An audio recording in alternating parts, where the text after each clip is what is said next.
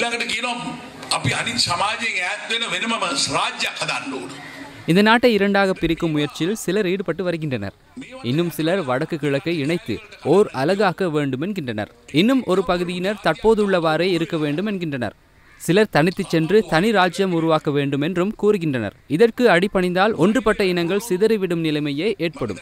மீண்டும் பகைமை உணர்வு ஏற்படும். இந்த நிலைமை உருவாகினால் நாட்டில் கட்டியெழுப்ப முற்படும் நல்லிணக்கம் இல்லாமல் போய்விடும். அரசாங்கம் மேற்கொண்டு வரும் நல்லிணக்க நடவடிக்கைகளுக்கு புதிய அரசியலமைப்பு பாதிப்பை ஏற்படுத்தும்.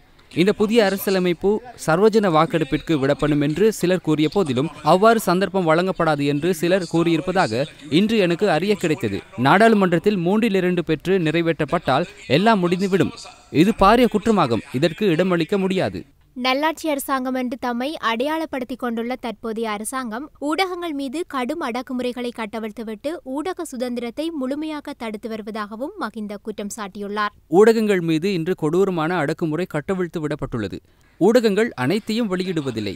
ஊடகவியலாளர்களின் பெயரை நாடாளுமன்றத்தில் குறிப்பிட்டு அச்சுறுத்திய சம்பவங்கள் இதற்கு முன்னர் ஒருபோதும் இடம்பெற்றதில்லை. எந்த காலகட்டத்தில் இடம்பெற்றது?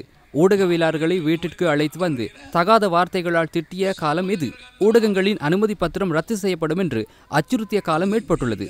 ஜனாதிபதி முதல் அமைச்சர்கள் வரை அவர்களது தில்லுமுழுகளை ஊடகங்களில் வெளியிடாமல் தடுக்கின்றனர். பிரதமர் ஜனாதிபதி அலுவலகங்களினால் சில பத்திரிகை அலுவலகங்களுக்கு அழைப்பு எடுத்து அந்த செய்திகளை பிரசுரிக்க வேண்டாம் என தடை விதிக்கப்படுகிறது.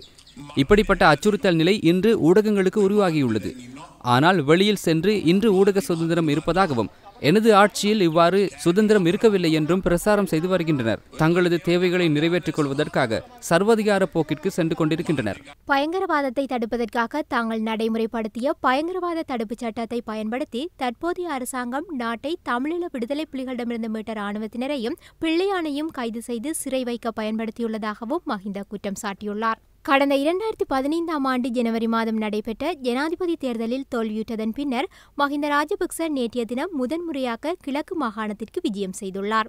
இதற்கமைய மட்டக்களப்பு மங்களாராம விகாரையில் அமைக்கப்பட்டிருந்த யுத்தத்தின் போது உயிரிழந்த இராணுவத்தினருக்கான நினைவு தூவியை மஹிந்த திறந்து வைத்துள்ளார். இதற்கு முன்னர் இந்த நினைவு தூவியை திறந்து வைக்குமாறு ஜனாதிபதி மைத்ரிபால சிறிசேனவிற்கு அழைப்பு விடுத்திருந்த மங்களாராம விகாரையின் தலைமை பீக்குவான ஹேம்பிட்டிய சுமனரத்ன தேரர் ஜனாதிபதி வராததால் அவரை மோசமான வார்த்தைகளால் திட்டி தீர்த்ததுடன் ஜனாதிபதியின் பெயர் பொறிக்கப்பட்ட நினைவு கலையும் அடித்து உடைத்திருந்தார். இந்த நிலையிலேயே தற்போதைய ஜனாதிபதியின் பெயர் பொறிக்கப்பட்ட நினைவு கல்லுக்கு பதிலாக முன்னாள் ஜனாதிபதி மஹிந்த ராஜபக்சவின் பெயரை பொறித்த நினைவு கல்லை நாட்டியுள்ள மங்களாராம விகாரையின் தலைமை பிக்கு மஹிந்தவை அழைத்து திறந்தும் வைத்துள்ளார்.